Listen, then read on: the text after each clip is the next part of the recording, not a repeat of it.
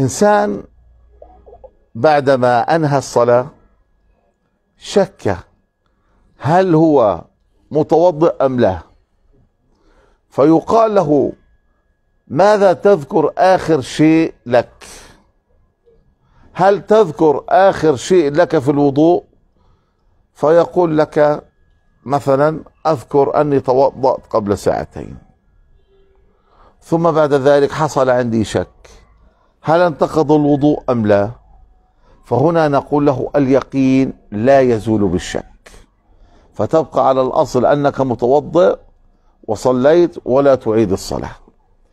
اثنين الحالة الثانية يقول أنا أذكر قبل ساعتين لم أكن متوضئا لكني شككت بعد ذلك هل توضأت أنا أم لا؟ فنقول له الأصل عندك أنك لم تكن متوضئا. وبالتالي اليقين لا يزول بالشك اليقين هو الأصل. فبالتالي أنت مطالب بالوضوء والصلاة. الحالة الأخيرة يقول أنا دخلت في الصلاة وأنا أذكر أني متوضئ لكن بعدما دخلت في الصلاة شككت.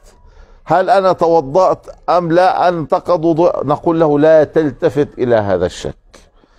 إذا هذه أحوال ثلاثة كل منا يحكم على نفسه تجاه هذه الحالة.